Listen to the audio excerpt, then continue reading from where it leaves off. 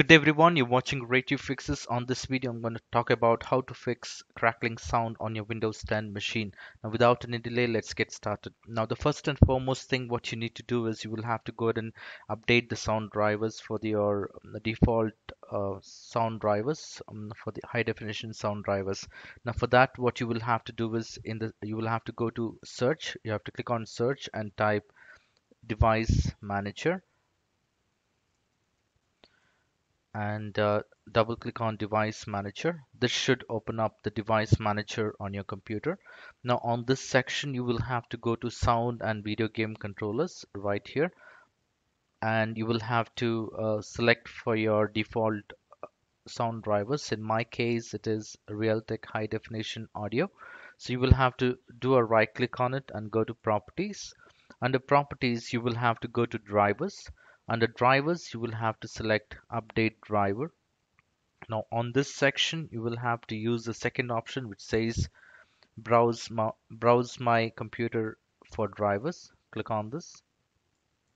Double click on this and here you would have an option to browse and you will also see an option which says let me pick from the list of available drivers on my computer so select the second option and here you would see the list of uh, drivers which are compatible which is al already installed. So you can choose any one of them.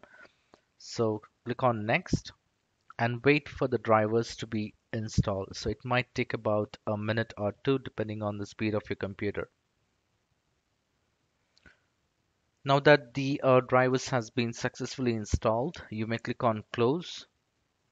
Click on close again and close the device manager and I strongly recommend to go ahead and restart your computer once you follow this step. So once this is done, you may try to play the sound on your uh, machine and see if that works. In case if that doesn't work, the next step what I would also suggest you is Okay, the next thing what you will have to do is you will have to open uh, the sound settings. Either you can open it by right click by by doing a right click on this and go to sounds or you can also use a shortcut which is by opening the run command and type mmsys.cpl. It will take you to this window and on this section you go to playback section the play, current pay, uh, playback device double click on this and on this section click on enhancements and check the box which says disable all enhancements. And once it is done the next option what you will have to do is you will have to go to advanced and on this section from the drop down list make sure you have uh, the two channel 16-bit 8000 hertz uh, telephone quality.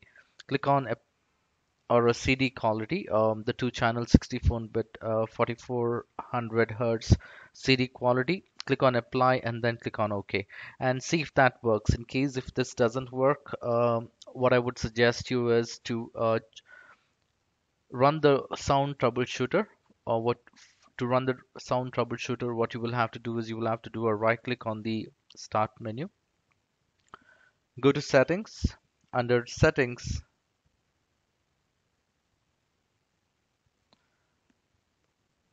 click on update and security.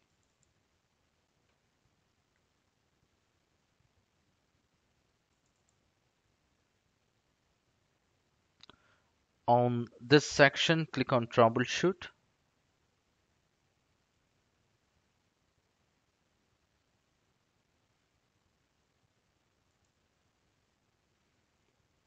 Click on additional troubleshoot and here you can look for playing audio and click on run the troubleshooter.